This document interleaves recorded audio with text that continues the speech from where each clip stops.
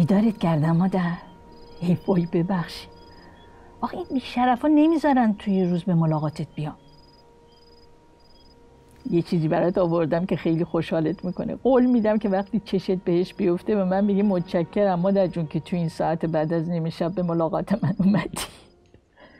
ای ناغلا من تو رو می‌شناسم. مادر امشب خودشو به تو رسونده که خوشحالت کنه. نمی‌دونی چه جوری تو این وقت شب خودم رو به تو رسوندم. روزا که نمی‌ذارم به دیدنت بیام. من تنها نیستم و مادرای زیادی هستن که بچه هاشون تو این قبرستون دف شدن. پسر و دختر. تو همون هفته که تو اومدی اینجا صدها جوان دیگه هم اومدن. از بچه یازده ساله بگی تا چل ساله. اگه می‌تونستی بلند شو به دورورت نه نگاهی بندازی می‌دیدی که بیشتر قبرای اینجا تازه هن. یا یکی دو روز قبل از تو اومدن اینجا یا یکی دو روز بعد. خاک بالای قبرشون هنوز خیسه. گلایی هم که مردم روی اونا ریختن هنوز زندن. تو مدت یه هفته فقط 300 تا جوان اینجا دفن شدن. به خود خانواده ها که اجازه نمی‌دادن بیان سر قبر بچه هاشون این گلا رو مردم دیگه رو قبر را گذاشتن. باید تو روز بیایی ببینی دم دروازه قبرستون چه خبره. تا چش کار می‌کنه معموره از همه جور. از افراد مسلح به اسلحه گرم و کلاهخود و لباس ضد گلوله گرفته تا یه مش لات و لوت لباس شخصی مسلح به چاقو و چماق. قبرستون شهر ما شده وزارت جنگ ایالات متحده. هدفشونه که مردم خسته بشن و به خونه هاشون برگردن. بعضی مادرها از بس منتظر موندن بیچاره از خوش رفتن. بعضی هم دیگه تا اون موندن نداشتن و برگشتن رفتن منزل. منم رفتم منزل. اما وقتی خسته و کوفته افتاده بودم روی کاناپه دیدم نه خیر. دلم بد جوری هوایی تو رو کرده و هر طور شده باید پاشم راه بیفتم بیام اینجا. هیچی توی نظرم نبود جز اون صورت قشنگ معصومت مادر. گفتم عزیزم دلتنگتم چه کنم؟ گفتی پس به دیدارم بیا. گفتم ای به چشم مادر. گفتی مادر من سردمه. گفتم چی برات بیارم عزیزم؟ گفتی بیا یکم گرما به من بده. خوبه تو نیستی ببینی این شهر قشنگی که یه روز عاشقش بودی به چه روزی افتاده مادر. شبا تبدیل میشه به شهر مرده ها. خالی از مردم اما پر از مامورای مسلح که آماده کشتنن. من تو حیرتم که اینا کیان مادر. ها؟ بچه های کدوم مادرن که اینجور سنگ دل و وحشیان این همه کینه و دشمنی رو کی تو سینه اونا گشته این همه پستی و رزالت فقط برای یه کمی زندگی بهتر؟ من چه ساده بودم که این سوالا رو از خدا میپرسیدم. بعدا متوجه شدم خود خدام دیگه جوابی برای سوالای من نداره. خدا متحیر مونده که اینا چه جور موجوداتی هستن؟ امشب نیومدم پیش تو که از درد و قصه حرف بزنم. امشب اومدم بهت بگم من که به شغل بچه خودم افتخار می‌کنم. اولش که بهم گفتی می‌خوای چی کاره بشی؟ زیاد موافق نبودم. 16 سالت بود. گفتی مادر من می‌خوام پرستار بیمارستان بشم. من عاشق کمک کردن به مردم هستم. یه پرستار خوب می‌تونه برای مردم جامعه یه فرد مفید باشه. بغلت کردم و فقط اشک ریختم آه که چه لذتی داره بغل کردن تو مثل یه فرشته سبکبال توی بغلم بودی و سرتو گذاشتی رو سینم دیشب داشتم اتاقتو تمیز می‌کردم می‌دونی؟ می‌دونی چند تا کارت لای کتابات پیدا کردم که مریضای بیمارستان بهت دادن؟ کارت های تشکر دوست تا لباساتم که چروک شده بود اتو کردم و آویزون کردم به رخت آویز توی کمون بعد اومدم سراغ تخت خوابه. و همه ملافه ها رو عوض کردم. زیر تخت خوابتم چند تا جعبه کتاب بود که آوردمشون بیرون و گردگیریشون کردم. اون وقت می‌دونی توی یکی از جواب چی پیدا کردم؟ ای ناغلا به من نگفتی بودی اونجا چی پنهون کردیم. اول بذار مطمئنشم کسی ما رو نمی‌بینه. چرا قبرستون تاریکه. نه خبری ازشون نیست. چه بهتر؟ و حالا بذار از زیر چادرم بیارمش بیرون. لای چند تا کیسه و پاچه پیچیدمش که اگه تفتیش بدنیم کردن نفهمم من یه بطری همرام دارم. اینم از این. گل در اومد از همون سنبول در اومد از همون. چطوره؟ این یکی از همون بطری شرابایی که دایی ناصر پارسال از شیراز برای تو آورده بود. بذار درش رو کنم و یه جرعه بهت بدم که جیگرت حال بیاد مادر. شراب دست ساز خلار. این بطری آخره. نگشت داشته بودم برای شب چله با دوستات بخوری اما عمر تو به شب چله امسال نرسید مادر. پرسیدم خب به من بگو امسال برای شب چله چند تا مهمون داریم و چی دوست داری که برای شام درست کنم؟ گفتی همون دو سه تا دوست هر سال به اضافه یه دوست تازه. پرسیدم دوست تازه کیه؟ خندیدی و گفتی صبر داشته باش مادر. وقتی بیاد اینجا خودت باهاش آشنا میشی. مطمئنم که از دوست تازم خوشت میاد. این یک دوست استثنائیه. خوشحال بودی. من شستم خبردار شد که بچم عاشق شده. وقتی مادری میشنوه که بچهش عاشق شده هم خوشحال میشه هم نگران هر دو حس همزمان با هم چرا؟ الان برای توضیح میدم چرا چی مادر؟ خودم هم بخورم ایوی نه من کی شراب خودم که این بار دومم باشه مادر؟ کی؟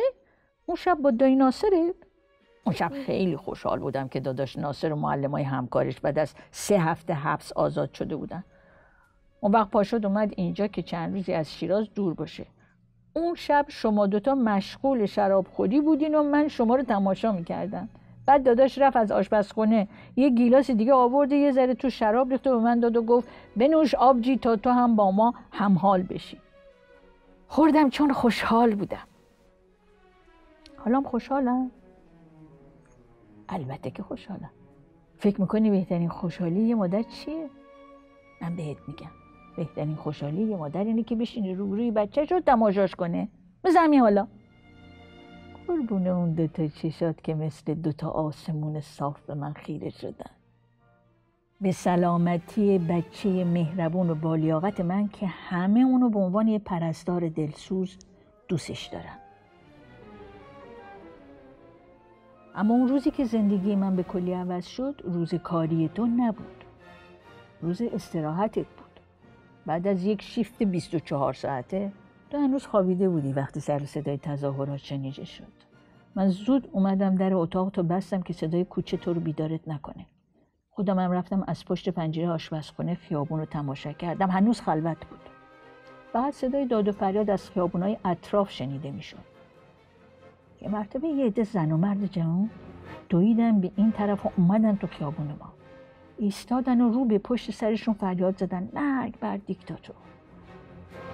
راستش درسته که از تماشای شجاعت اونها خوشحال بودم. من یه جوری هم دلواپسی عجیبی هم به جونم افتاده بود که نکنه مامورات تیر در کنم به طرف این بچه ها. همینطور هم شد. تیر به کسی اصابت نکرد و مردم با فریاد و شاد دویدن و به طرف ته خیابون و من دیگه اونا رو ندیدم. یه تیر دیگه هم در شد. بعد صدای تو از پشت سرم شنیده شد که گفتی چی شده مادر؟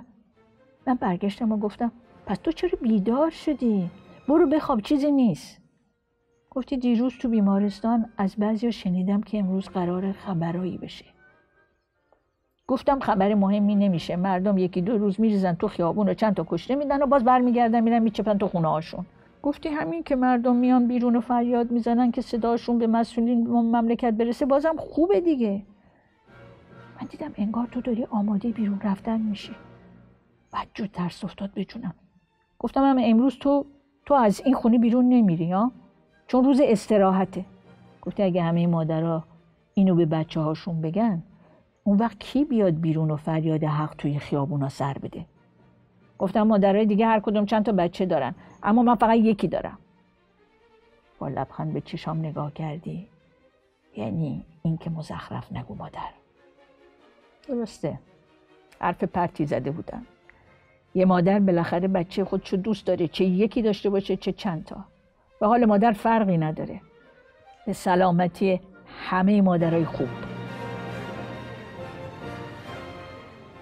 این جرعه این دفعه خیلی حسابی پروپیمون بود.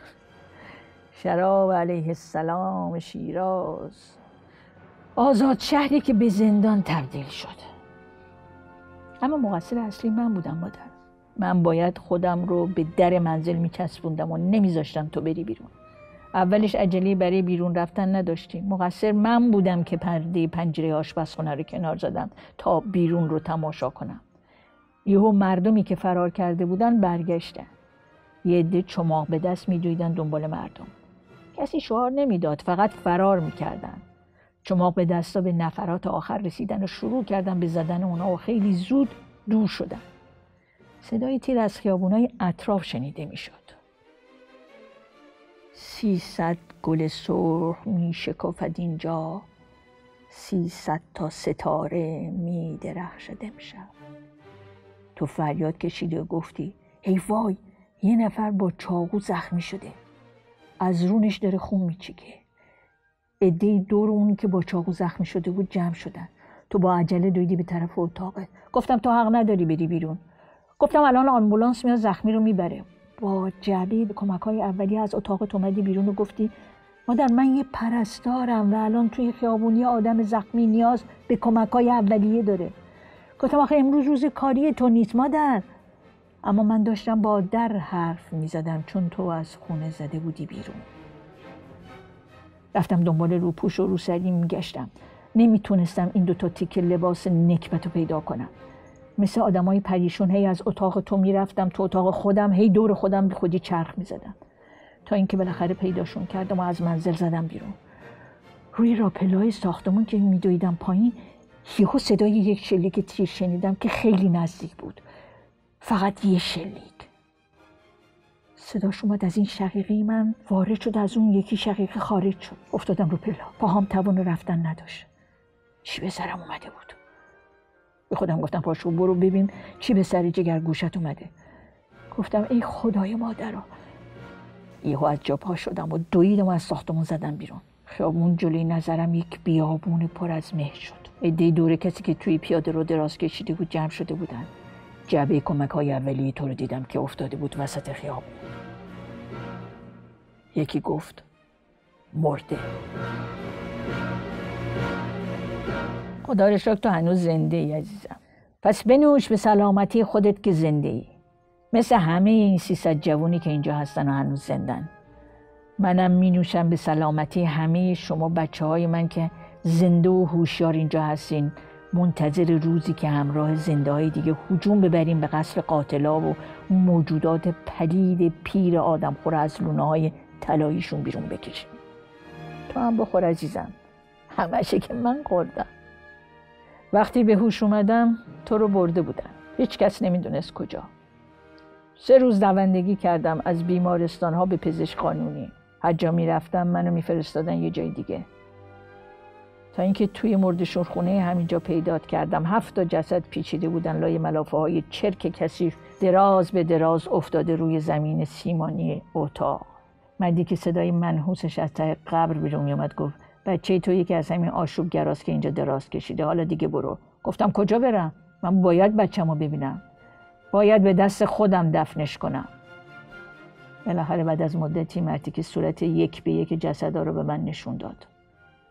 درست گفته یکی از اونا تو بودی. همون صورت قشنگ.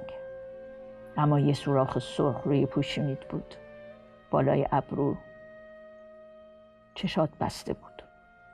دلم نمی‌خواست به اون سوراخ زخم نگاه کنم. نگاه کردم به اون لبایی که خشک و تشنه بود. می‌خواستم سینه خودم رو بدرم و پستونم و بذارم توی دهنت تا تشنگیت رفت بشه. یا هر دو پلکات هستم باز شدن. با اون چشای قشنگت به من نگاه کردی. لبخند زدی. یه چش دریای طوفانی بود و یه چش دیگت آسمون شفاف بینایت وقتی توی آسمون چشت یک رنگین کمان شکل گرفت اون مردی که باز ملافه رو کشید روی صورتت و گفت بس دیگه برو.